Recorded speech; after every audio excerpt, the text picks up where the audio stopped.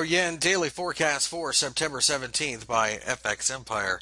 The uh, euro yen, as you can see, fell initially during the course of the session on Wednesday, but found support at the 135 level to turn things back around and form a relatively positive candle.